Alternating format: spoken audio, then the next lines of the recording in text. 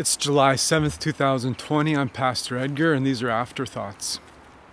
In John chapter 11, verse 25, Jesus personalized the resurrection and the life. He said, I am the resurrection and the life.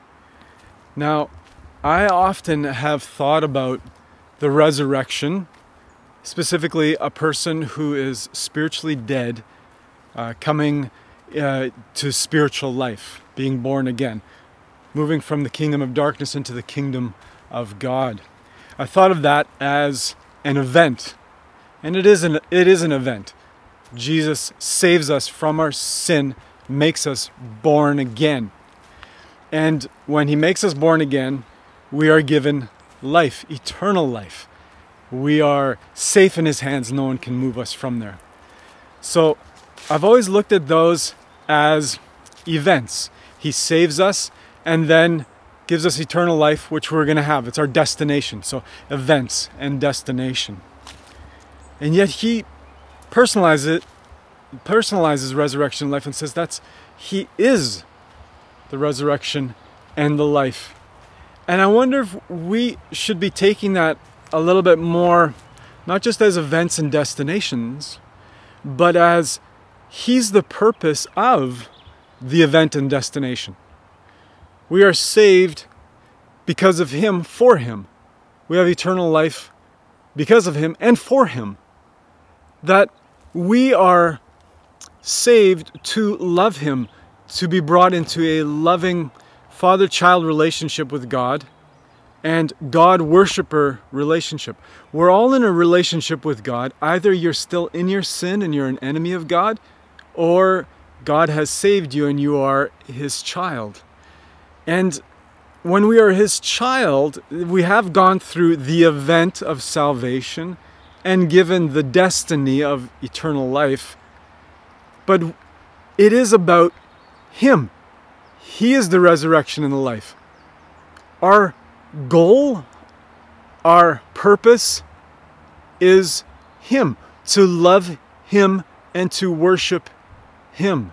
So when uh, a Christian says, uh, "What can? How can I live? Can I? Can I do this as a Christian? Can I do that as a Christian?" Well, that's not the point. The point is, love the Lord your God. Like love Him in the forgiveness that He's given us, in the the blood of Christ, in His grace. Love the Lord. It's not about behavior. Can I do this behavior? Can I not do that behavior? It's not about that. It's about worshiping Him.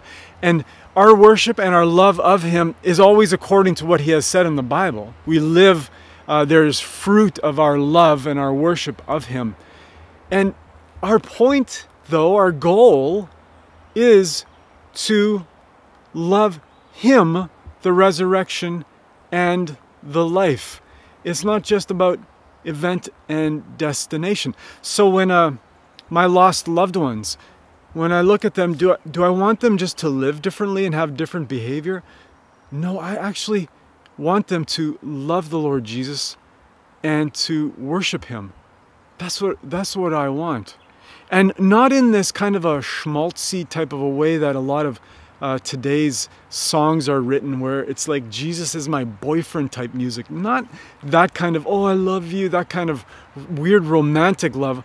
I'm talking about like a surrender to the Lord, loving and worshiping Him according to His word.